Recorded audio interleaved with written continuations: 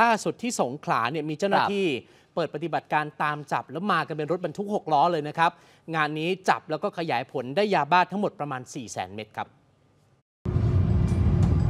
อ่าตอนนี้ปฏิบัติการชุดตะวัน ไล่ติดตามกระบวนการค้ายาเสพติดลำเลียงยาเสพติดมาส่งในพื้นที่ภาคใต้ ตอนนี้เราอ่าไล่ติดตามรถต้องสงสัยโอเค น้องน้องแล้วเราวางอะไรไว้ครับ ไม่ได้วางอะไรเลยครับ เป็นยาเสพติดไหม ไม่ได้วางอะไรเลยครับ แน่ใจนะติดไหมแน่ใจนะ แน่ใจนะ แน่ใจนะ แน่ใจนะ มีภาพนะ เราลงไปวางอยู่มีอะไร แน่ใจนะ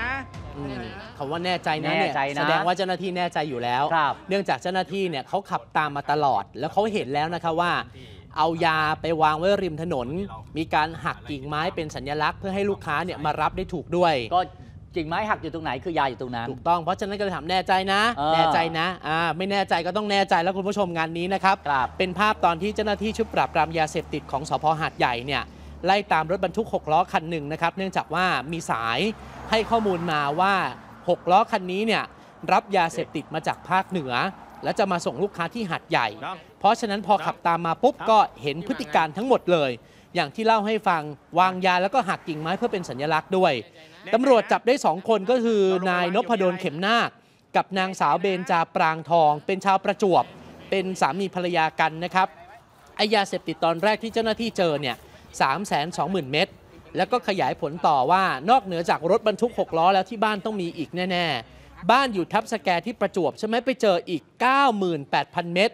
แล้วเจอทรัพย์สินที่ได้จากการค้ายาอีกหลายรายการ รถหรู รถกระบะมอเตอร์ไซค์รถ 6 ล้อ แล้วที่นั่นเนี่ยเปิดโต๊ะสนุกบังหน้าด้วย ครับ ซึ่งทั้งคู่เองก็รับสารภาพเพราะว่าเจ้าหน้าที่มีหลักฐานหมด ยอมรับบอกว่ารับจ้างขนยามาหลายครั้งแล้วเป็นยาบ้านะครับ ครั้งหนึ่งเนี่ยได้เงินไม่ต่ำกว่า 3 0 0 0 0นจะมีเอเย่นใหญ่จังภาคเหนือเนี่ยก็คือส่งยามาให้ มาพร้อมกับรถบรรทุก 6 ล้อ จะเอาไปวางไว้ตามจุดนัดหมายต่างๆ ซึ่งพื้นที่เป้าหมายก็คือหลายจังหวัดของภาคใต้ทำมาหลายครั้งรอดมาได้ แต่สุดท้ายก็ไม่รอดนะครับคุณผู้ชมถูกจับได้ในที่สุดครับจะบ้าเยอะนะฮะคุณผู้ชมครับ ช่วงนี้ช่วยกันปราบปรามหน่อยนะครับ วันดี สนุกฟรี ดีทุกวัน วันดีโหลดฟรีได้แล้ววันนี้